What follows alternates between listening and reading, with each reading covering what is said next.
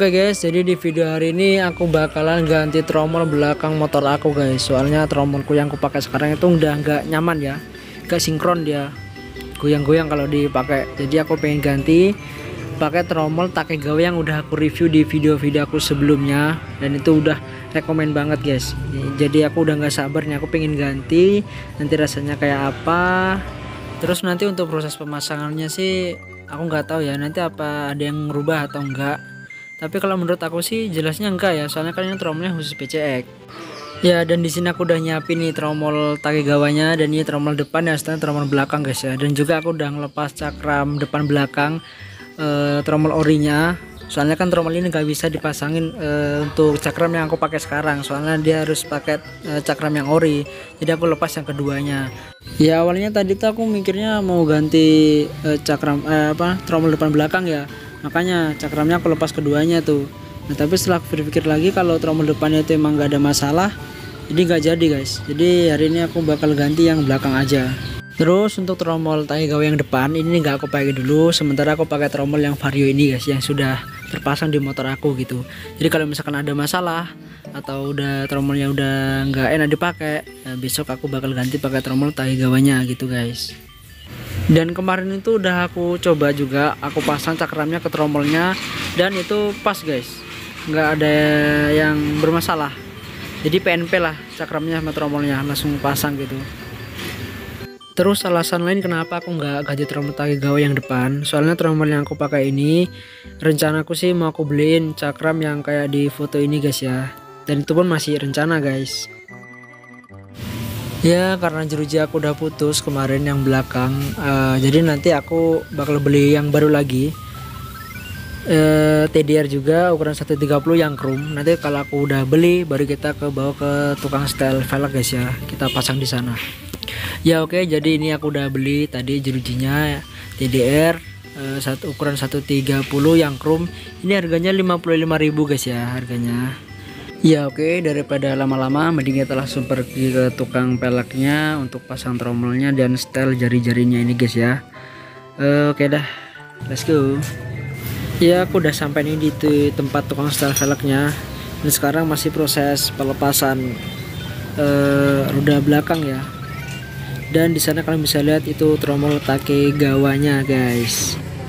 Ya ini tromolnya terus ini jerujinya ini ukuran 130 dan aku juga udah nyiapin uh, cakramnya terus tromolnya ini udah siap juga.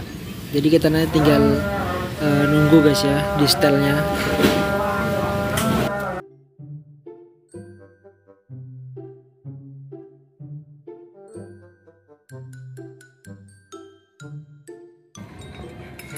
Ya jadi ini video tester pemasangan tromol kalau kita pakai jari-jari setel luar itu kandas apa enggak dan dicoba ternyata enggak guys. Dan jauh banget jaraknya. Atau enggak kandas. Iya guys. Coba ya khawatir lah kayak jeruan kono mau oh dan di sini tuh orangnya bilang kalau setel dalam itu emang rawan banget buat putus guys. Makanya jari-jari aku kemarin tuh putus ya. Terus di sini juga aku dikasih tahu sama orang di samping aku kalau jari-jari aku tuh ada yang putus lagi di situ. Nah setelah kuliah ternyata emang iya guys. Jadi nambah dua ya putusnya. Jadi tiga. Dan aku juga nggak tahu tuh putusnya di mana. Yang jelas ini putusnya waktu aku perjalanan ke tempat velg ini guys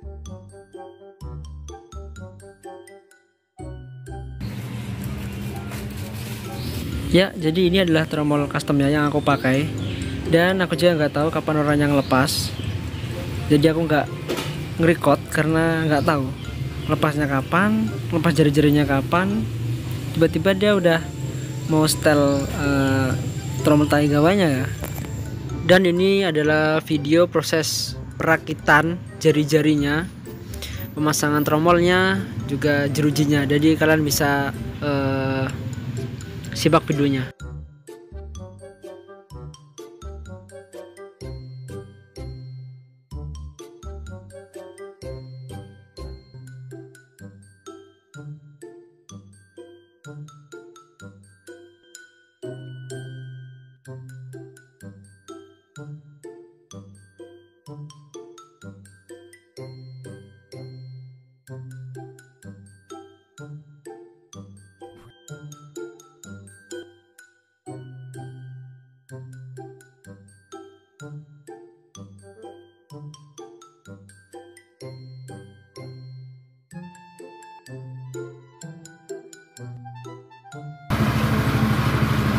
ya ini tromolnya udah dipasang jerusinya udah dipasang dan juga udah disetel juga.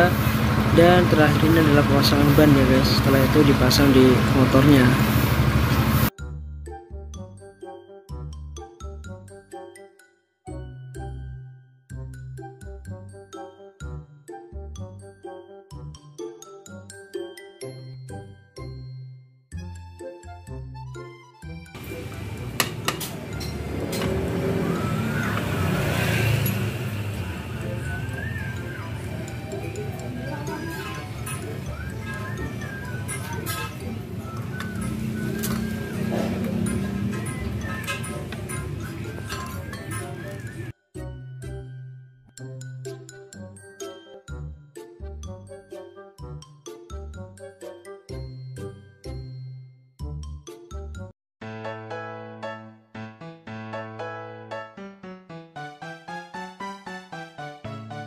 Ya jadi kurang lebih kayak gini guys ya tampilan tromol Taigawa yang udah aku pasang. Kemarin udah aku coba ini tuh tromolnya kokoh banget kuat beda kayak tromol customnya kemarin itu.